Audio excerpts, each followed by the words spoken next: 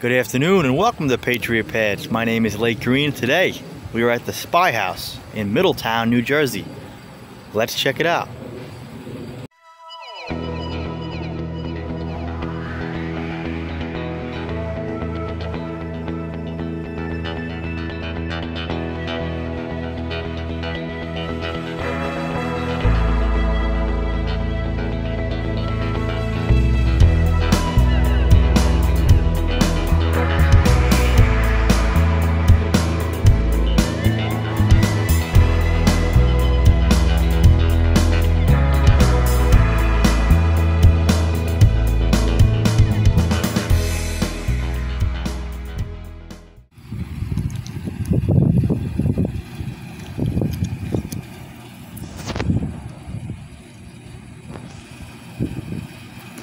So as you can see, we're actually very quite close to the beach. We're literally like maybe a hundred yards, if that, from the waterfront, probably even closer.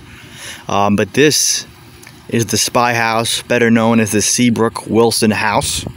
Uh, it was originally built in the early 1700s. The first structure that was here was built in 1663. But the current structure the oldest part of this building still standing today was erected in 1720, likely by Daniel Seabrook.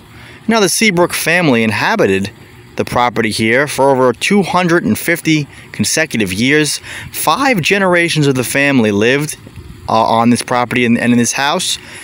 Um, and the Seabrooks actually once owned a couple hundred acres here. So obviously there's not much left of it now, but they farm the land here right on the beach. So I wonder, they probably grew crops, definitely probably dealt with salt marsh and other um, things like that.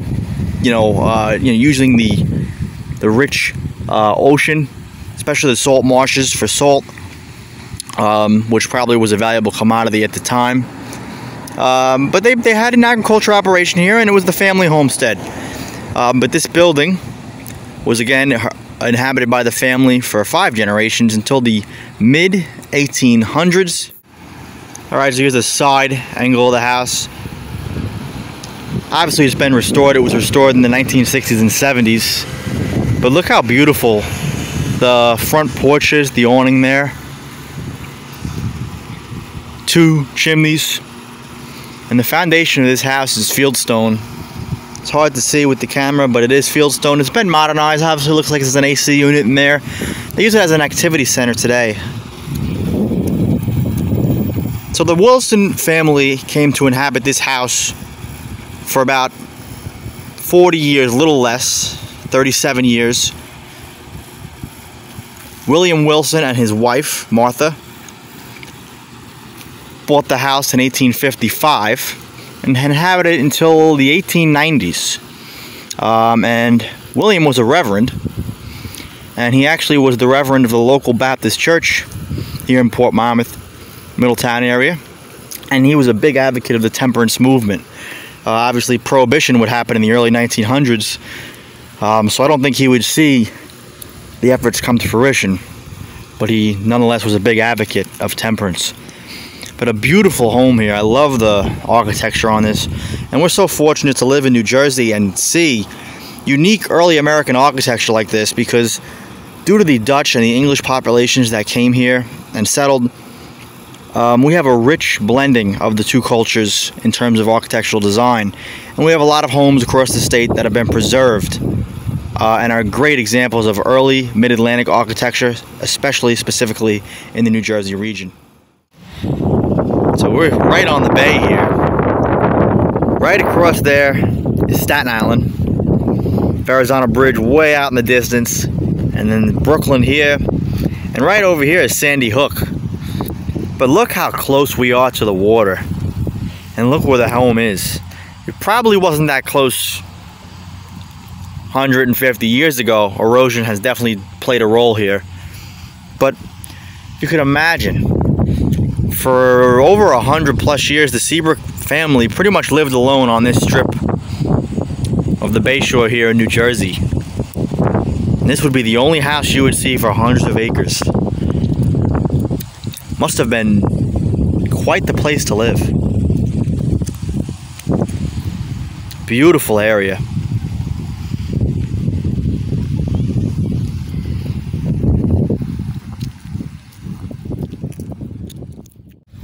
So the person of interest that we want to highlight here at the Spy House is Thomas Seabrook. Thomas Seabrook was a captain in the New Jersey militia during the American Revolution. Uh, and he lived in this house during the War of American Independence. And this is really where the moniker, uh, nickname of the Spy House, uh, it, you know, traces back to. People claim that this house was a tavern, um, and that people would spy on the British soldiers uh, and report it to the local patriots. That is completely untrue. Uh, but Thomas Seabrook did live in the house during the time of the American Revolution, and he was a patriot and an officer in the New Jersey militia. Of course, uh, a staunch supporter of American independence. The house itself would become an inn and a tavern by the early 19th century, or 1900s, my mistake. And uh, between the years of 1890s to the 19 late 50s, 60s, it was an inn and a tavern. Uh, and by the 60s, it had fallen uh, vacant and in disrepair. And that's when the state swept in and restored the home. Really, it was the local government of Middletown, municipal, municipal government. But today we have a beautiful example of early New Jersey architecture here with a rich history. Thank you so much for listening. Rate, comment, subscribe, and we will see you next time on Patriot Paths. I'm Lake Green.